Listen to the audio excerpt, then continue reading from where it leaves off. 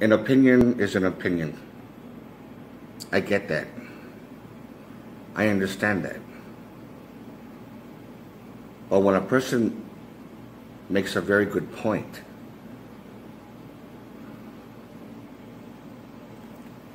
is it still considered an opinion? That's what they did. About 5,000 years ago, a bunch of religious and political hustlers got together to try to figure out how to control people, how to keep them in line.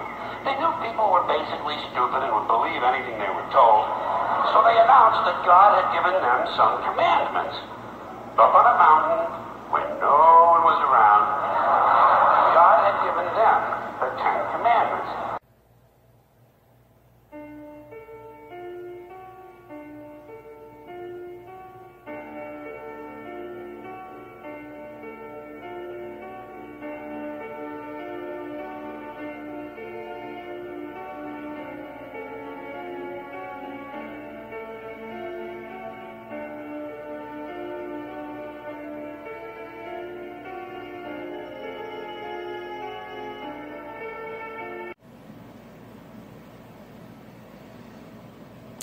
Hello, everyone. Once again, this is Dare to Speak. And I know that this is something that most people don't want to hear. I, I, can, I can understand that. But again, I just wanted to um, voice my opinion just to see what other people would think. But I want to hear from both sides this is something that I strongly feel is correct because not just the whole concept of God that, that I don't believe in, but the Ten Commandments, of course, to me seems like a very political agenda that was made to control people. And the whole idea of Moses actually making these commandments, I actually start to doubt that. And I know that there's not everybody who's religious is, is actually going to like um, the person in which you just heard, which is George Carlin. I can understand that. But in my opinion, he makes a, a lot of good points. So here's some other things that I think, again, I want you to hear. And again, I'm not trying to offend anybody. I'm just trying to make a point.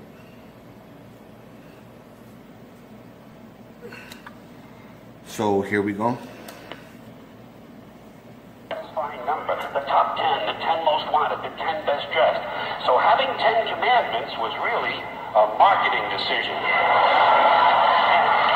to me, it's clearly a bullshit list. It's a political document artificially inflated to sell better. I'm going to show you how you could reduce the number of commandments and come up with a list that's a little more workable and logical. We're going to start with the first three, and I'll use the Roman Catholic version because those are the ones I was taught as a little boy. I am the Lord thy God, thou shalt not have strange gods before me.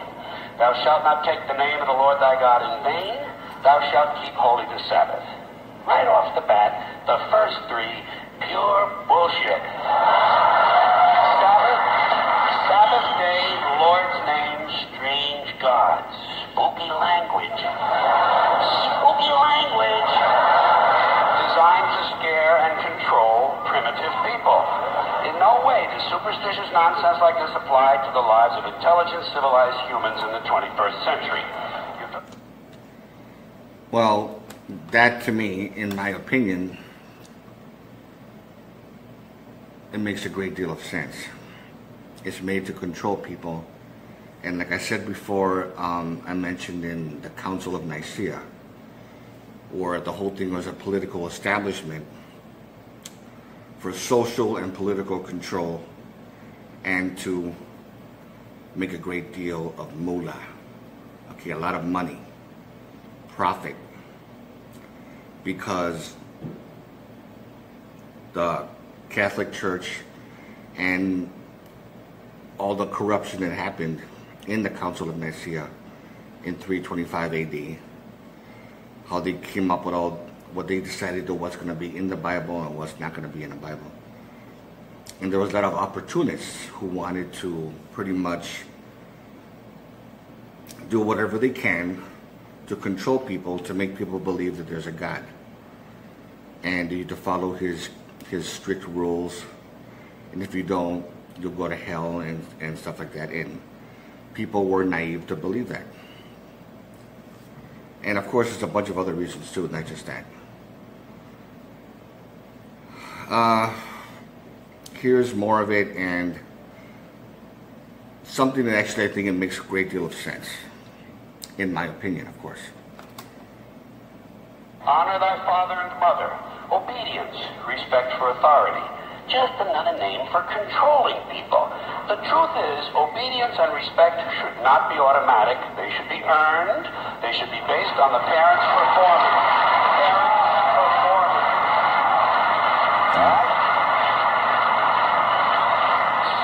Some parents deserve respect. Most of them don't. Period. You're down to six. Now, for those of you who it should be, the audio should be good enough, says, honor thy mother and thy father. Of course, it's, it's common sense that you should respect your family. And you don't necessarily need God to tell you that. But at the same time, you, to, you also have to realize the logic behind that not not every family is going to have a, a stable mother and a stable father. And there's some there's uh, there's some parents that are very rotten to their kids, and if they were to if the kids were to uh, kind of like stand their ground or or, their, or, their, or if they were to contradict, they consider it disrespect. They get smacked, and or of or of a cousin were to see that, it says, don't disrespect your mom. Don't, don't disrespect your dad. Don't do that. And they're like, it's ingrained in their heads. But then their feelings, their actual um, emotional viewpoint is, well, I'm being treated like crap. And then, and then some people use the excuse, well, you're only six or you're only eight years old or whatever. You don't know anything about right and wrong. I think they do in some cases or, or even a lot of cases. I've seen many parents that don't know how to raise their kids correctly and they, have, they verbally abuse them. Even, even in some cases, um, physically abuse them. But it's more of the verbal abuse that destroys a lot of their, of their self-esteem. So George Carlin is right. Some people, some parents deserve respect. Most of them don't. And in in that and of course with the Ten Commandments of that being one of them, is just another way of controlling people, just like he said. Another way of controlling people. That you have to obey your mom. You have to work. Of course, you need to listen and and and, and you know do whatever they would do whatever they ask of you. Not tell you, but ask of you because of, you know, the, the reasons of, the good reasons why. But at the same time, their, their uh, ideas can be very radical and very uh, illogical or wrong. In some, in, in, some cases, a lot of kids actually, uh, they actually know that it's wrong, and, they, and then they disobey because of it you know, in a lot of cases when, when, when it's really extreme. And when he was talking about the first three, like I said this before about don't take the Lord's name in vain, how stupid that is. I mean, it doesn't bother me to say goddamn or Jesus fucking Christ or anything like that. I mean, who gives a fuck? I mean, they're just they're just words and they're not harming anybody. I made that clear in, in, in my video on that. And another one about the very first one, thou shalt not have other gods before me. Don't worship anything else. And then the idea of I am a just God, but I'm also a jealous God or something like that.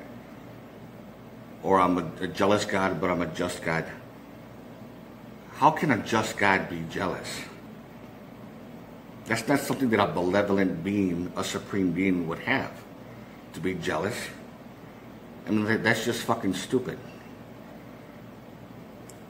So it makes a great deal of sense to, to really take into consideration that the Bible, the religion, the whole concept of God, that we should worship this um, authority figure and, things like that, is complete and, and utter bullshit. That is just a form of programming people just to control them. In a very, you know, with sinister motives. That's, that's the main reason why it's for sinister motives. So, with all these strict rules that, that I just said, I mean, a, a, a person who really is, who is a, a big time free thinker would actually agree with me on this.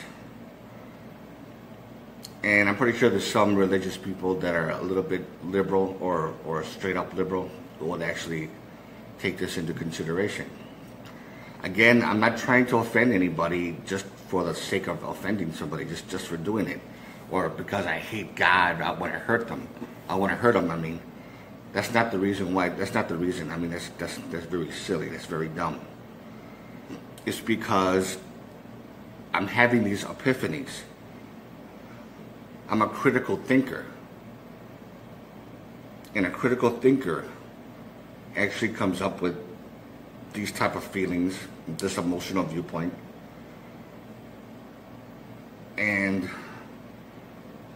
to me, I think it could actually it could actually be proven into a fact. But there's a lot of conflict. That's the thing. So if you like this video, give it a thumbs up questions or comments, you know what to do. And to all of you, take care.